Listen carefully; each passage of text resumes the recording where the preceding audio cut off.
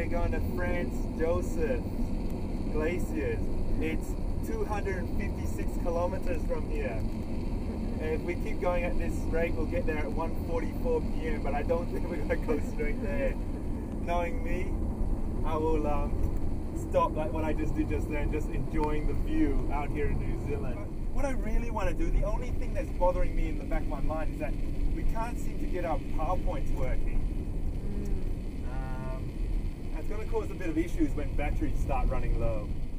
That's beautiful. And this looks like the road, the railroad, so you can actually go here by rail as well to see these views. But no way, go by camper van. Seriously, we moved our house around with us, so you can point back and look at the house as well. See? Woohoo! But it's a nice drive. It's a very, very scenic drive. It's not difficult at all.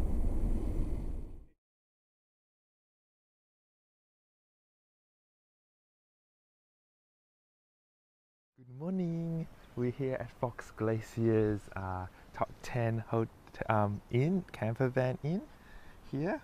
This is day three. I have Elaine down here. How are you today? I'm good. I'm good.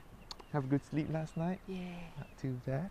It's very warm. Is it? Mm. Elaine finds it very warm. Mm. She's my little Eskimo. Later on, hopefully, I'll be able to um, hike up there and see what view it has to present when I take the camera up towards the Franz Josef glaciers. Right now, we are just at like uh, one of the powered sites here at Franz Josef. Uh, we stayed here last night, and at the back behind me, you can see that the there's the Franz Josef glaciers, and it's just early in the sunrise now. Just a quick tour around here. You know, we parked our um, camper van over to one of the sides here. You have bays like this. We're at 110, and uh, you can back your your van right at the back, and you have these power stations that you can just plug up to your van to power up the the secondary battery. Uh, we also had the option to uh, refresh our waste water and our clean water just at the station in front of me. You can see that near where those uh, red orange witches hats are. And um, it makes it quite comfortable. We still stayed here last night. And back over there, behind the trees, you can see that's where the hot water showers and toilets and uh, kitchen and internet room is. And over towards just over the side that building here behind that red van is the laundry. So, you know, I'm still here waiting to capture the Fox glaciers. I'm just looking over to the site over here now. I can just my camera is just waiting patiently now. I can actually see the some nice cloud details coming out from there. So I'm actually going to grab a shot of the scene. Just going to meter this, make sure that the, my settings are okay. It's gone a little bit brighter, so I'm going to to compensate. Take another shot. It's all about patience, really. I take several shots in. we'll see how that looks. It's looking quite nice on the back of the LCD there. Uh, right now on my actual camera, what I actually have the setup is uh, set up on my camera is my 5D with a 24 to 105 f4 lens. I'm shooting at around about f14 and just another thing when you have your camera set up onto a tripod make sure that your your image stabilizer is uh, switched off. Wow those colors are really changing up there right now. You can see that on the actual video let's have a look. Let's see how we go. Let's grab another snap of that.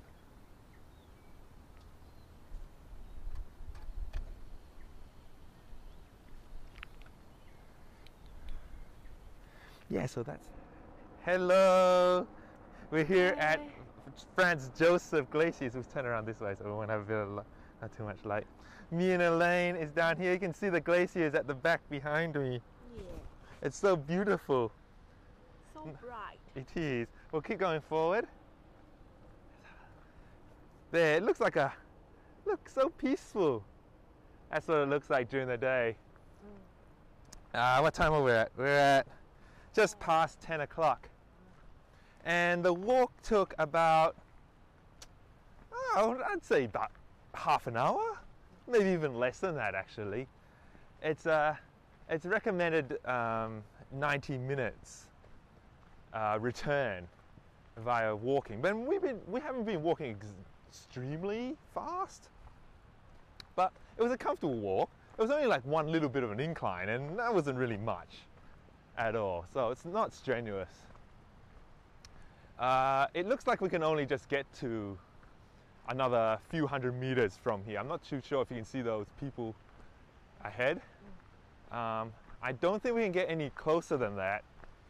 Um, anything closer, we just found out that you actually have to ride a helicopter up for a guided tour walk.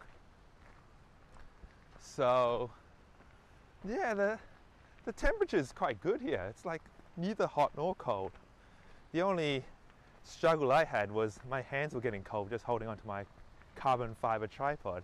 But I just figured out an ingenious way to hold onto this tripod. This vest is awesome.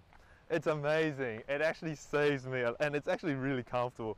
Um, the amount of equipment that I'm actually holding onto this is actually quite astonishing. um, there's quite a lot, and um, I might show I might show a video later on on what actually is on this vest because bringing this vest along has been one of the best sort of tips, best sort of moves I've actually made on this trip. I'm actually really happy about it. You can probably see a helicopter up there just passing by over that way. One over the head behind us. So, yeah, it's pretty cool. And there's not too many people here at the moment. And it's just a nice brisk walk. So you can see the sort of ground that we're walking on. So, you know, no dramas with that at all. Like, let's ask Elaine to see how she's finding the walk. Hello, Elaine. Hi. How's the walk? Very good. Very, Very- easy. Yeah, see? I I'm just wearing sneakers. Mm, let's have a look. Yeah, Instead of hiking boots. yeah. Still working on. Mm, very good. And there's, oh, and also note, there are a few waterfalls along the way. Yeah. Not sure if you can hear them, but there's one over in the top left corner nearby. I can hear them through the actual gorge area. There's a few more mm. over towards in that way, which is pretty cool. Here now we're a lot closer towards the Franz Josef Glacier, and it looks like the scenery's changed just slightly. Back there before, the rocks were that reddish sort of um, rocks, but now we've got these little ones to contend with. Again, the the track is getting much closer, and you can see we're only like about 400, 500 meters away from the actual glacier itself, which is just up there. And you can see Elaine down the bottom there. Give a wave, Elaine. Wave. Hello. And this is nice. With regards to photography, I'm really going to make a use of this running water down here. It looks absolutely amazing. Probably put this as a foreground. Going to have that nice smooth water transition. Might put my ND10 filter on my camera and get down nice and low, vertical shot, and have the, the, the glaciers um, in there as well. A little bit of the sky, not too much of the sky because it's just plain blue at the moment. Then, you know, not nothing all that interesting up there. So let's just traverse through these rocks down here and not slip.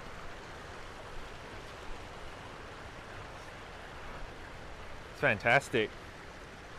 It's just so peaceful around here.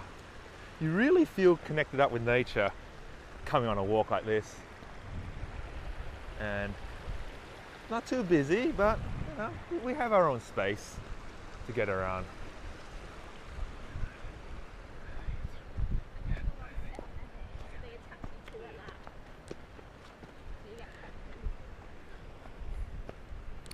So here we go.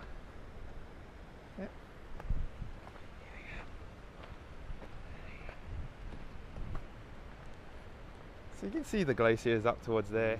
Do not go past here, icefall, rock falls. Hmm. Wouldn't want them landing on your head now, would you? The guy on top or even on the bottom, he's not going to have a very good day, is he? right? Look at that unique looking rock. Pretty cool.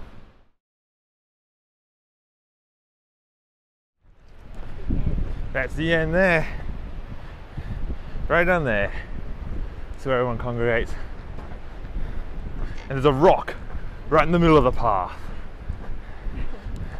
He must have just fell last night. There's probably a guy down the bottom of him. Don't make the same fatal mistake, huh? Okay, no worries.